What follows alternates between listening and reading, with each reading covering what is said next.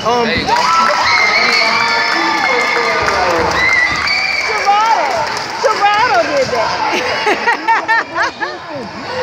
yes. Would you like to see the replay? Oh, my God.